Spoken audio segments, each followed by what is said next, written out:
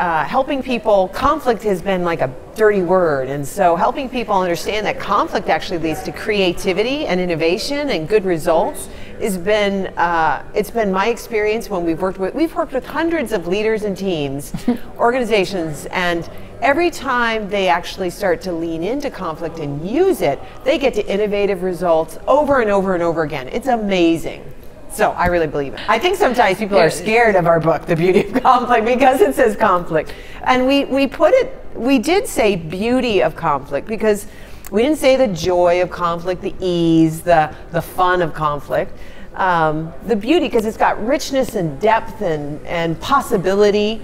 And people and, want innovation and creativity. And really, you don't get to innovation and creativity if you don't have conflict.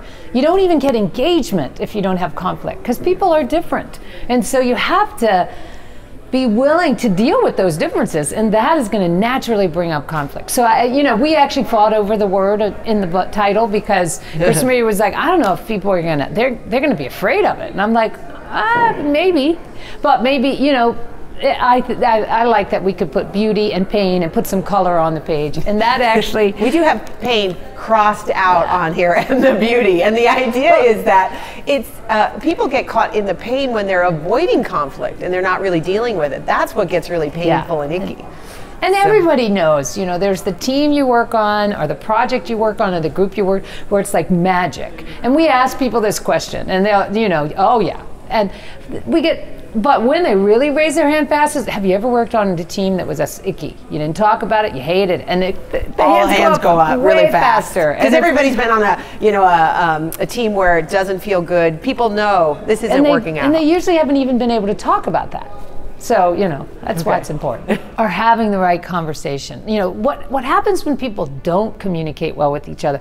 more and more distance gets created between them and productivity goes down and you could look at it as just a productivity issue but nine times out of ten something happened between those two people that didn't get talked about very well. We also say, you know, you know your business well. We've worked with so many different organizations from from healthcare to mining to technology to, to truckers. To what? Truckers. To truckers, yes all sorts of different industries. So we don't really need to know the industry. What we're experts in are the human dynamics and helping you actually have the right conversations. And we're also experts in, I have an MBA, so I'm an expert in business strategy and how to actually move move the business forward from a big picture level all the way down to what do we need to do next. So we take care of both of those things That's when the, we're working with a team. I think that is something that is unique about us working together is we do really come from things from very different she does have more of the business background. I probably have more of the let's deal with this conflict, let's deal with the human dynamics differently. You know, she has a very detailed process oriented side of her that'll make sure people things get done. I probably have a much, um, probably more big picture, conceptual, strategic, and so and that brings us into a lot of differences. Sometimes right there in the room, and so they get to see us work through it, and then that gives them like, okay, this is a natural thing. Let's keep going. And you know, often someone will say, can, can we just hire one of you? And we're pretty, we're pretty good about saying no. You know, you could have cost you more because because it actually I think having both in the room. Well, we're we're a team, and so we're modeling the behavior that we hope they yeah. will pick up on. So. And we've had time and time again, people have said you guys are just not like other consultants. This is so. I've been to so many of these, and this is really different. Oh, yeah. So sometimes that surprises me because I'm like, what were you doing at the others? But I, you know, that's not, you know, I, you know. Yeah, a typical engagement is we actually do an executive offsite, a two-day offsite with the team, and then we usually develop a coaching relationship with the executives, maybe just